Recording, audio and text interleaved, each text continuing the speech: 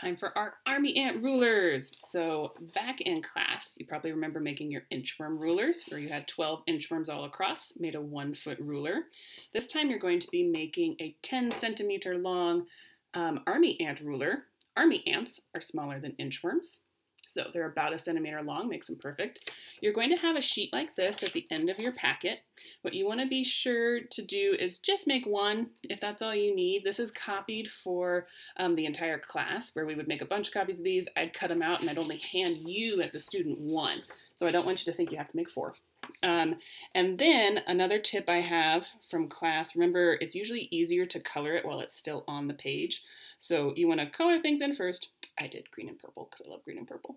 Um, and then then cut it out. It'll be easier than trying to color in a tiny strip of paper. So I already did the cutting, so that you wouldn't want to watch that. But also, normally I would hand you the perfect length of construction paper and you would glue it right on. Um, you might have construction paper at your house. You might have the perfect card for this. If you do, that's awesome. I didn't, but I did one of my favorite things. I went to the recycling and I found a piece of junk mail and I thought, hey, this has a color that, I don't mind that, kind of nice navy blue. So I already cut it out again.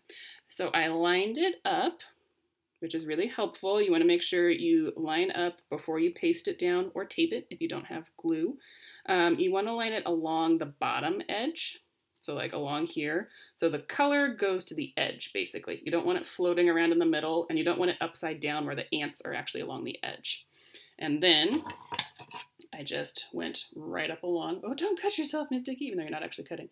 I went right up along at the end there, and then cut across that way, and voila. I now have my awesome inchworm ruler.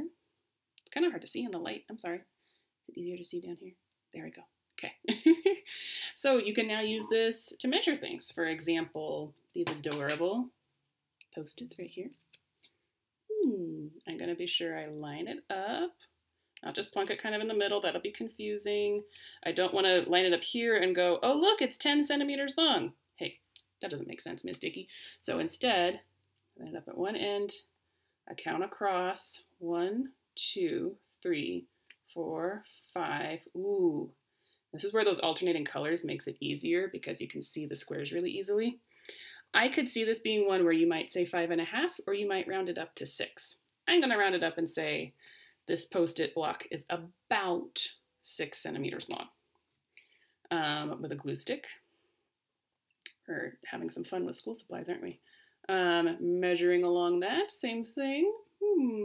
Count one, two, three, four, five, six, seven. That looks like almost exactly nine centimeters long. Hmm, that's interesting. This measures really nicely with centimeters. So that gives you your Army Ant Ruler. You can then use it all throughout the week um, on your math pages. And just out of curiosity, we do that sometimes in class where we try to estimate how long something is and then measure it to see see and compare, start to develop our skills with estimating. Um, so you could have fun measuring lots of things with centimeters.